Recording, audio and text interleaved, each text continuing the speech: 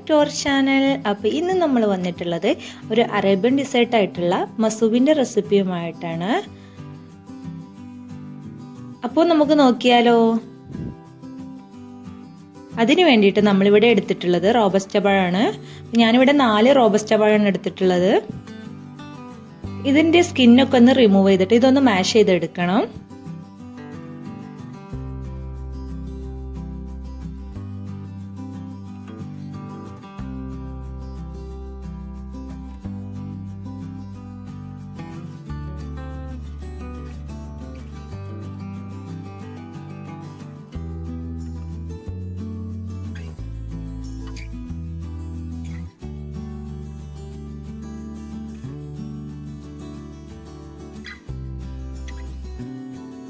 ഞാനിതിവിടെ നന്നായിട്ട് മാഷ് ചെയ്തെടുത്തിട്ടുണ്ട്.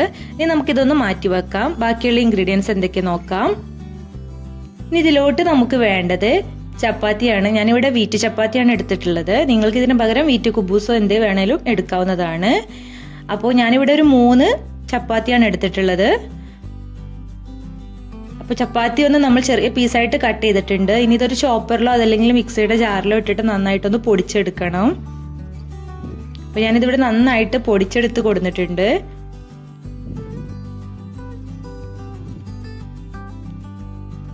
ഈ ഒരു രൂപത്തിലാണ് നമുക്കിത് പൊടിച്ച് കിട്ടേണ്ടത്.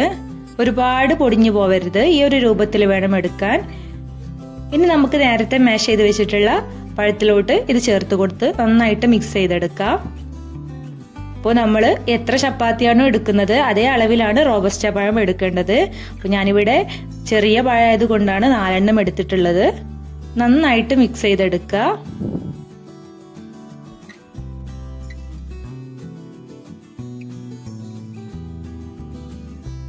ഞാനിതിവിടെ നന്നായിട്ട് മിക്സ് ആക്കി എടുത്തിട്ടുണ്ട്.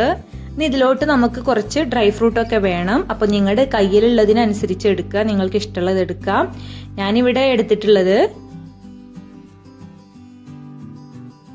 കുറച്ച് ആൽമണ്ട്സ് കട്ട് ചെയ്തെടുത്തിട്ടുണ്ട്. അതുപോലെ തന്നെ കുറച്ച് കിസ്മിസ് എടുത്തിട്ടുണ്ട്. നമുക്ക് ഹണി വേണം.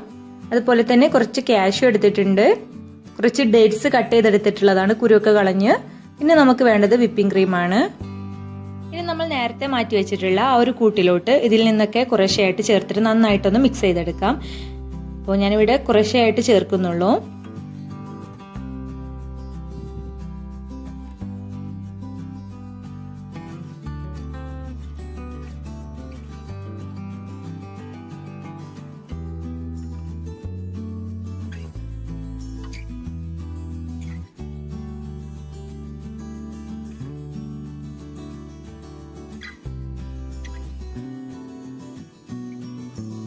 ഇനി നമുക്ക് ഹണി ചേർക്കാം.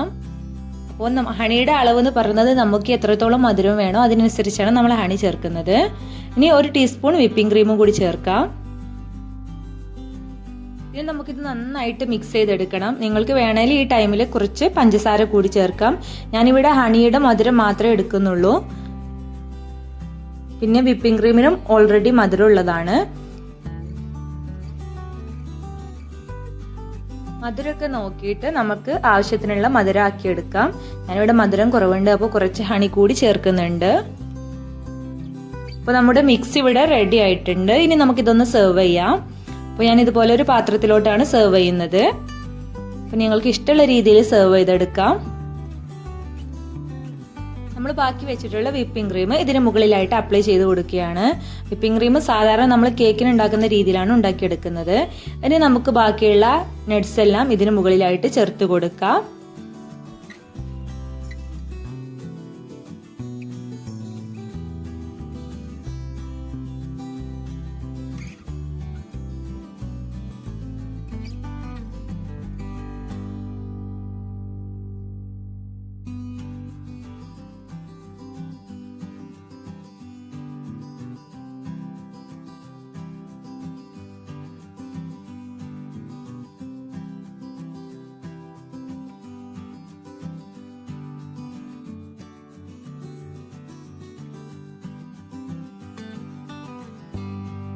ഇനി നമുക്കൊരു കാൽ കപ്പ് ഹണി കൂടി ചേർത്ത് കൊടുക്കാം.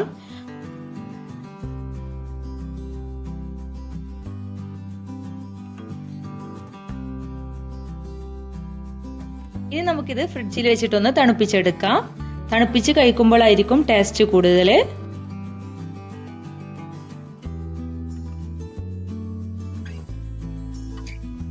നമ്മുടെ അടിപൊളിയായിട്ടുള്ള ഹെൽത്തി ആയിട്ടുള്ള മസൂബ് ഇവിടെ റെഡി ആയിട്ടുണ്ട്.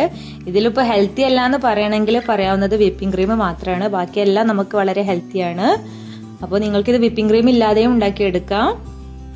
അപ്പോൾ എല്ലാവരും ഒന്ന് ട്രൈ ചെയ്ത് നോക്കണം. ട്രൈ ചെയ്ത് നോക്കുമ്പോൾ നിങ്ങളുടെ ഫീഡ്ബാക്ക് ഒക്കെ അറിയിക്കാൻ മറക്കരുത്.